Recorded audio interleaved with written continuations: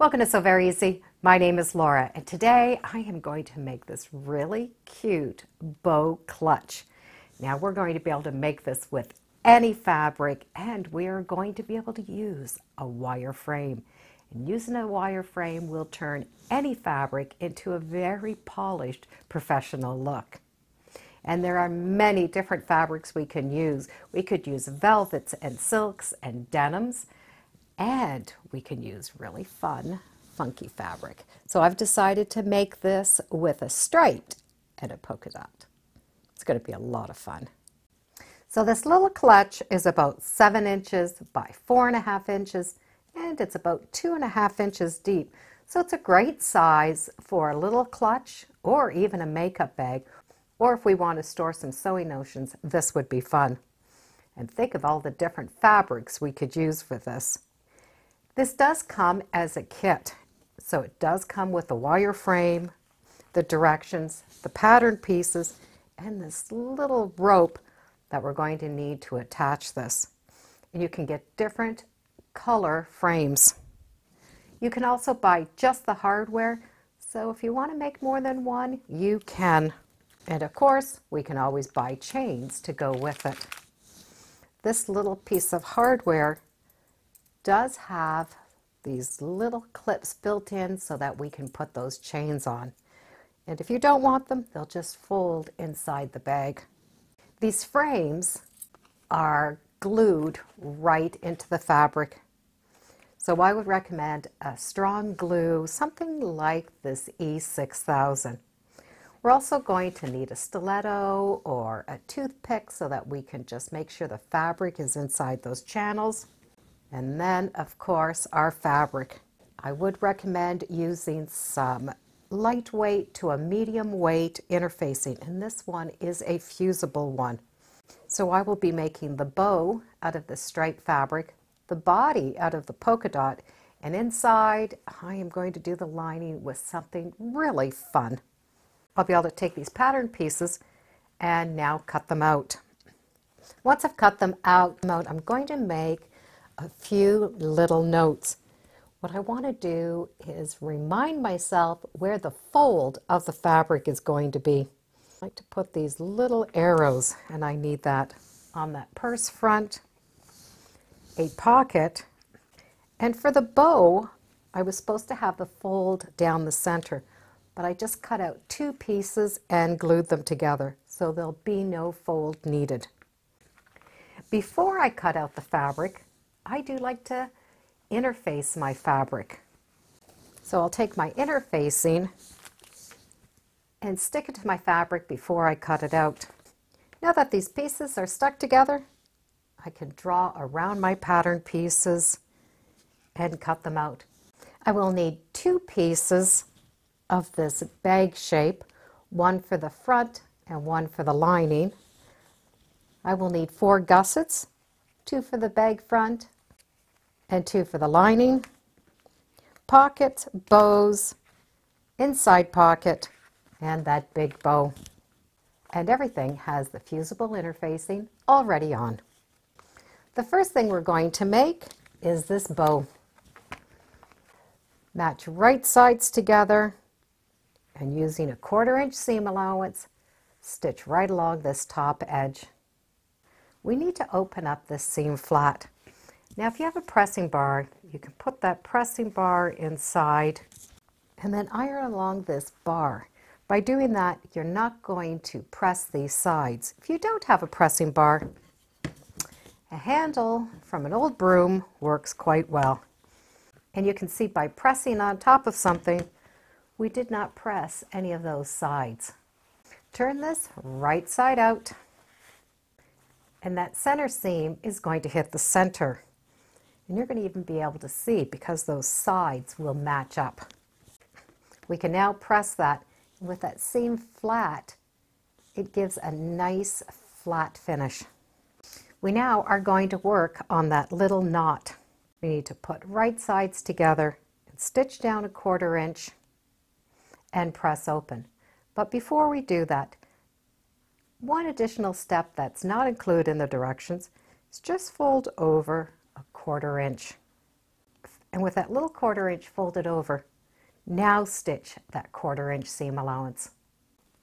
We do want to press that long quarter inch seam allowance open, but it's a little small to get much in there. But we can use a pencil. So put the pencil in there and just press right on top of the pencil so that stays open. By using that little pencil, we have no press marks. And turn this right side out. And now we can press it flat. This little piece is going to be the knot for the bow. If you want, you can run a line of thread to gather that in, or just gather it in with your hands. And we're trying not to wrinkle those outsides. This little piece is going to get wrapped around towards the back. We can now stitch that together. That piece that had that quarter inch over, we can just place it on top and whip stitch that edge closed. Once that back has been stitched, we can adjust that front of the bow so that it looks nice. And that bow's now ready to go on the front of the bag. We can put that aside because we're going to work on that back pocket. I've chosen this black polka dot as my back pocket. This bottom, we're going to press up a quarter inch. The top piece, we're going to press down a quarter inch and then press down one more quarter inch. I'm going to add one additional thing to this back pocket. This is not in the directions, but it's just another way of doing these pockets. What I want to do is cut a piece of fabric, the same measurement, but subtracting that half inch and quarter inch. So it's the same width, I'm just missing that top and bottom piece. I'm going to be able to take that shorter piece, line it up, press that bottom right up to that edge, that top, go down a quarter inch, and then go a quarter inch one more time. So this piece is going to fit in between. Do a row of top stitch right along that top edge. We now are going to be able to put the bow and the pocket on that bag. And we're going to put it on the bag front. Use the template or the pattern piece as a guide. We can put pins as markers to where the bow is going to go. So the bow will go on one side, flip it over, and we do have the markings for this pocket placement. So that pocket, the piece with that folded stitch down edge is going to go closer to the top. I've lined it up. Now I can just replace those pins since they're already there. Pin that pocket down. And on that bow, you're going to find one end is a little bit longer than the other. So this area is longer than the top. So the longer end is going to go to the bottom and the shorter end up at the top. Line those up and replace the pins. So we have the bow on one side and the pocket on the other. We want to anchor that bow down, anchor that pocket down, and then stitch along that bottom seam. So the short one is going to stay open. The bag's going to come like this, so this is going to be that top pocket. Once everything is anchored on, the directions do have us stitch down this bow. I'm going to not stitch the bow down because I might want to carry the purse with my hand under this bow. So if I decide after to stitch it down, I'm going to be able to do it then. The front of the bag is now done. We get to work on the lining. We have that pocket, fold it in half, stitch an L, and then stitch another L. So you leave a little opening here. Through that little opening, we can now turn it right side out. Tuck that seam allowance in, press it flat, and do a row of top stitching right along that folded edge. We now can put that little pocket on the inside of the bag. We need to stitch on three sides, leaving the opening where that small end is going to be. In order to make the lining and the front done, we need to add those side gussets. We need to cut out little squares in the corner. They need to be a quarter inch. Draw a quarter inch down and do that to the bottom and the sides. So we have those quarter inch corners. Cut out that quarter inch. Once you've done the one, you can use that as a template and do all four corners. These little ends are going to be stitched inside. Find the middle of it and put a little mark. Do that to both sides and keep that mark within that quarter inch seam allowance. Find the center of that little gusset and put a mark.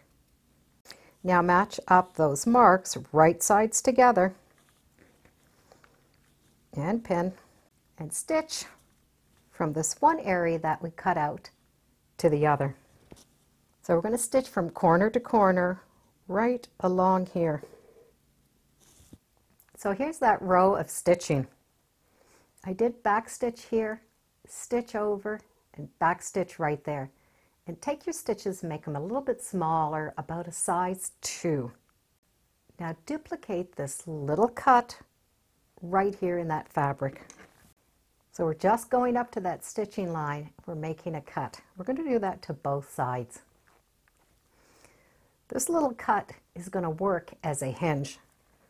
So now when we go to fold and match those sides together, they're going to want to lay flat because of this little hinge. Match up those seams and stitch this seam. Back stitch in this corner, go up and back stitch here and do a quarter inch. And we can do this on both sides. So we've started and stopped right here in these stitches. Back stitched and back stitched. It is important that you do not leave any gaps here. So you're coming and stitching right off and stitching right off. So those threads are going to match up. So we have that inside done. And it's important that we do check those corners to make sure that we did not have a hole. Now that that lining is done, I need to do the same thing to the outside bag. If you're able to get inside and press those seams open, it will give it a really nice finish. You can put a towel inside. You can also use that piece of wood